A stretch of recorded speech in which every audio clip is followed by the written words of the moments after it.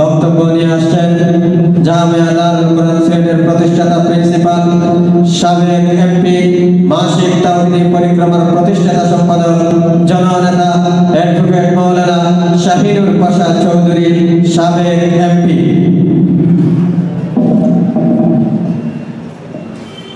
আসসালামু আলাইকুম ওয়া রাহমাতুল্লাহি ওয়া বারাকাতুহু।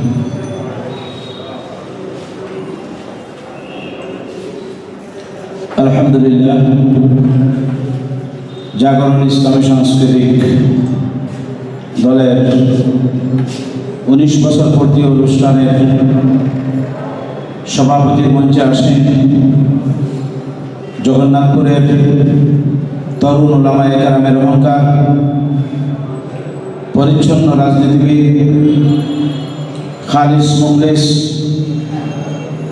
একজন আলেমেদিন জাগরণ ইসলামী সাংস্কৃতিক দলকে যিনি বিগত এক দশক থেকে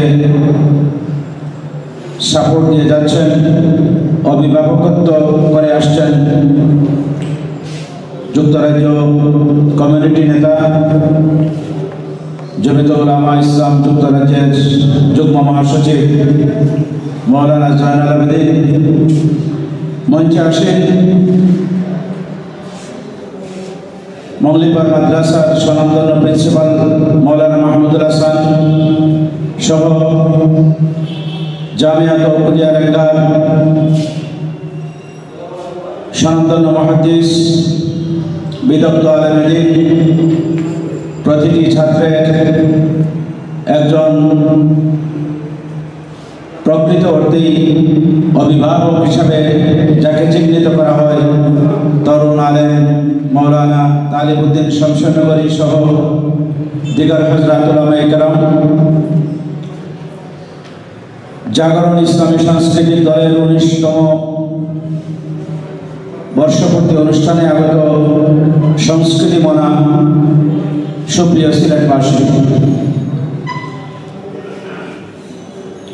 আজকে একটি ইসলামী সাংস্কৃতিক দলের আয়োজনে আমাদের এখানে আসা। যেখানে দাঁড়িয়ে কথা বলছি,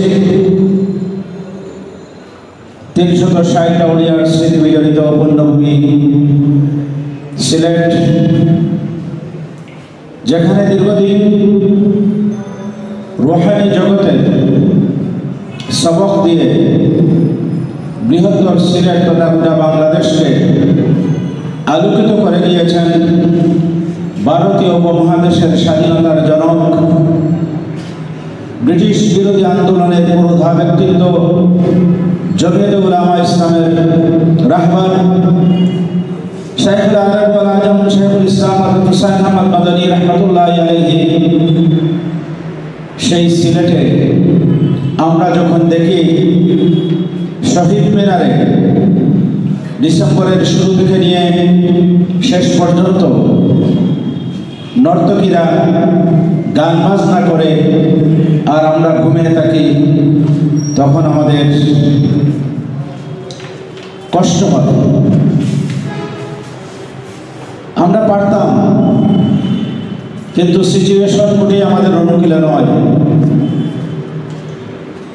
আমরা যদি ফেসবুকেও একটি কথা বলি, তাৎক্ষণিকভাবে আমাদেরকে শাসিয়ে দেওয়া হয়। মামলার পর মামলা দিয়ে আমাদেরকে দুরুস্ত করার জন্য চক্রান্ত করা হয়। এক সময় এই সিলেটে এরকম কোনো অনৈতিক কার্যকলাপ হতো না। কিন্তু এখন বিকাই বাজার অডিটোরিয়াম বলেন, শহীদ মিনার বলেন, আর কোনো কোনো সময় কেমব্রিজের নিচে বলেন ওপেন মহিলারা গান বাজনা করছে।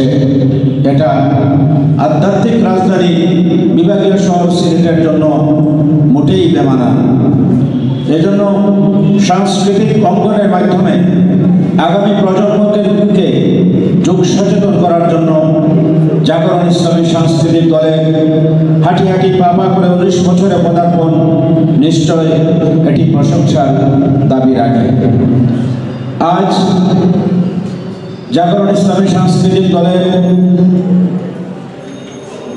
চেয়ারম্যান আব্দুল করিম দিলদার শুরু হয়েছে তার যাত্রা সিলেট থেকে।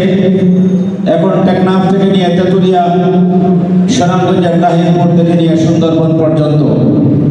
প্রতিটি জনপদে যার আমন্ত্রণ আসে, সেই প্রতিভা দিয়ে জাগরণকে যেভাবে এগিয়ে নিয়েছে, আমি আশা করি আগামী প্রজন্মকেও নেতৃত্বের মাধ্যমে সুসংগঠিত করে একটি সুন্দর সোনালী সমাজ বিনির্মাণের উদ্দেশ্যে তাদের পথযাত্রা সুন্দর হবে, মসৃণ হবে, আমরা তাদের সাথে যেন থাকতে পারি।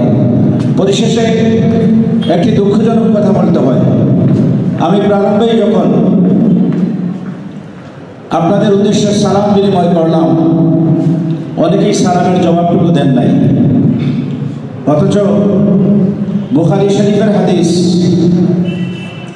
যদি একজন মুসলমান ন্যূনতম পক্ষে কম পক্ষে প্রতিদিন বিশবার আসসালামু আলাইকুম রহমতুল্লাহ বারকাতু সালাম বিনিময় করতে পারে, ওই দিনই যদি তার মৃত্যু হয়, তাহলে তার জন্য বেহেস্ত অবতারিত কমপক্ষে বিশবার আমরা একজন মুসলমান